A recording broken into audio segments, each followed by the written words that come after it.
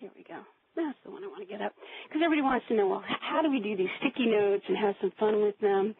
Well, okay, very simple. I want to add a note to this. So I come up here and I say, oh, I want to add a sticky note. And I'm going to put my sticky note right over here so that people can find it. And then I'm going to put in a thing. Good. Oops. Come on. Help me out here. All right. And there's my little sticky note. Now, let's say I want to uh, change something. I want to make, I, I missed something and it needs to be in here. We missed a word. So, click on this little guy here. Click on where I want to add the word. Click, hold, drag. And now I can say, I want to insert and there.